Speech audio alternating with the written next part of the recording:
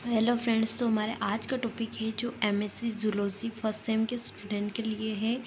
तो हमारे आज का टॉपिक है dominance index similarity and dissimilarity index इसका इंट्रोडक्शन से है, किसी इवोल्यूशंस की फैनल फैनलिस्ट तैयार करने में बहुत समय लगता है। मतलब किसी भी इवोल्यूशंस की लिस्ट तैयार करने में बहुत समय की आवश्यकता होती है, परंतु यह सब होने के बाद भी एनिमल कम्युनिटी के स्ट्रक्चर को समझने में बहुत अधिक लाभ नहीं मिलता है।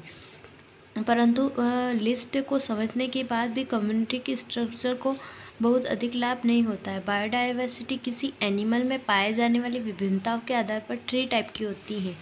फ़र्स्ट है डी डाइवर्सिटी यह किसी कम्युनिटी एंड हैबिट के अंदर पाए जाने वाली जीवों के बीच की विविधता है। सेकेंड है बी डाइवर्सिटी यह दो डिफरेंट डिफरेंट हैबिट्स में पाए जाने वाले जीवों के बीच की विभिन्नता है। मतलब दो अलग अलग हैबिटेट में पाए जाने वाले जीवों के बीच की कड़ी है। थर्ड है वाई डाइवर्सिटी यह अल्पा एवं बीटा डाइवर्सिटी के फलस्वरूप उत्पन्न होती हैं तथा एक जियोग्राफिकल एरिया की रेंज में पाए जाने वाले जीवों के बीच की विभिन्नता है।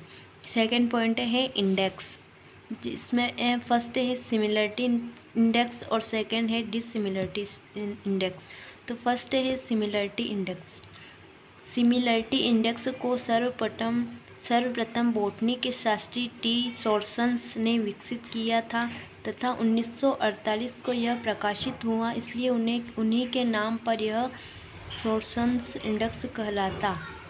इसे सोर्सन्स सिमिलरिटी कोफिशियंट्स भी कहते हैं। इस इंडेक्स की हेल्प से हम यह ज्ञात कर सकते हैं कि किन्हीं दो हैबिट में कौन सी स्पीशीज़ समान है, अथवा कौन सी दो स्पीशीज कॉमन हैबिट्स रखती हैं, इन्हें एनालिसिस के नाम से भी जाना जाता है।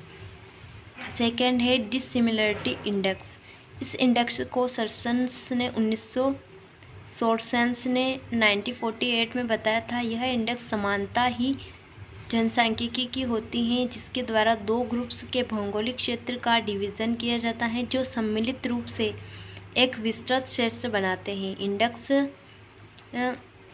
एस केस को दो इंडेक्स केस को दो ग्रुप में प्रतिशत के रूप में भी ज्ञात कर सकते हैं। इसका रेफरेंस है विल्सन्स बायोडाइवर्सिटी।